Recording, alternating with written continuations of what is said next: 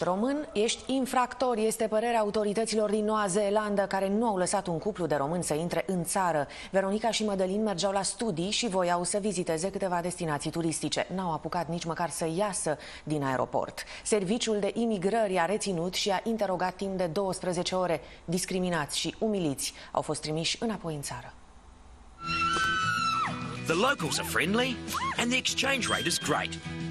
Auckland, no passport required. Asta dacă nu cumva ești din România. În acest caz, în loc de bine ați venit, primești un gata cu românii. Iar intrarea în paradisul neozeelandez este oprită de Sfântul Serviciu de Imigrări, direct în aeroport. Am fost conduși în grabă cu bagajele după noi uh, la oficiu de imigrări. Simplul lor motiv de a ne delimita pe noi față de ceilalți care nu au fost opriți au fost pașapoartele noastre românești. După 36 de ore de zbor, în data de 22 septembrie, Mădălin și Veronica au aterizat pe aeroportul din Auckland. Dacă am fi avut vreun cazier, dosar penal, alte lucruri legate de criminal record, așa cum le face plăcere să numească ei, nici măcar n-ar fi putut să ne urcăm în avion. Din toți cei cinci care eram interogați de către oficiu imigrări, trei au fost români. Mai mult de jumătate de zi au fost anchetați de oficiali ca niște criminali de rând. Vroiam, unul la mână, ea să studieze, iar dacă ea era acceptată la această școală, eu îmi puteam găsi o ofertă de muncă și au făcut în așa fel încât în 12 ore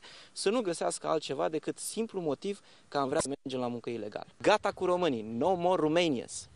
Deci, uh, ea în momentul în care a făcut această afirmație, a făcut-o față de ofițerii de la Immigration și toți au început să râdă.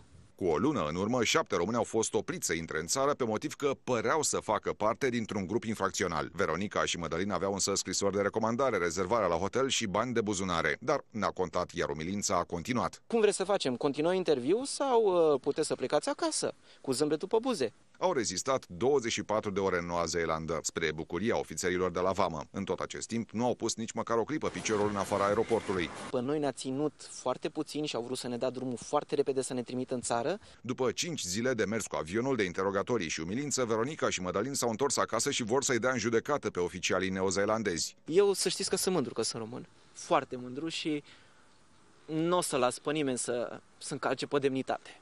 Pe nimeni.